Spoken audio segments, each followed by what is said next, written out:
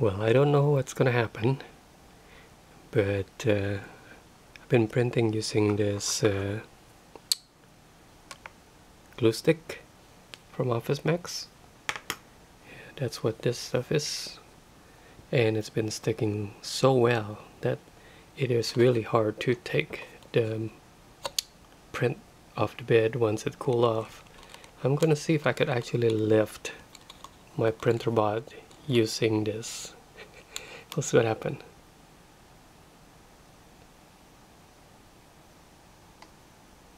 It's not lifting, it's heavy, but it's not coming off either. Let's see.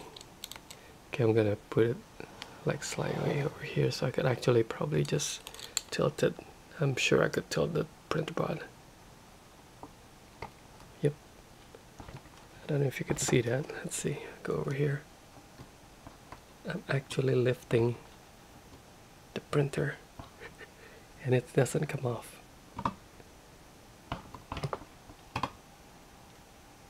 I'm gonna put it back in the middle if I could lift the whole thing.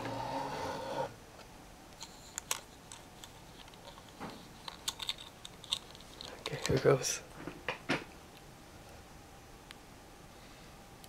Yeah.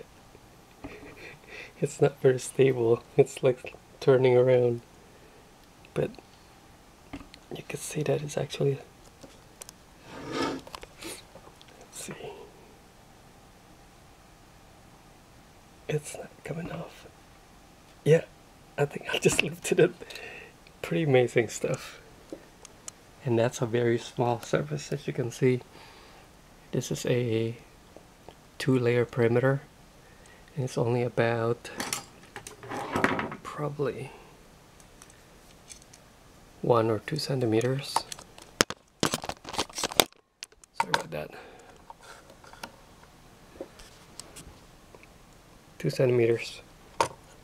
It's a two centimeter square with no bottom.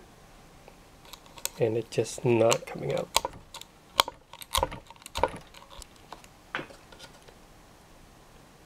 I'm, I'm moving the glass. I really force it now. I'm using leverage over here. It's moving the glass you can see. It's actually moved the whole glass. Usually I have to turn the heat back